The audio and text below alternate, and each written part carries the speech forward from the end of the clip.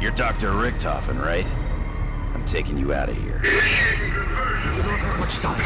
They will return soon. We need to get the 115 conversion generators operational.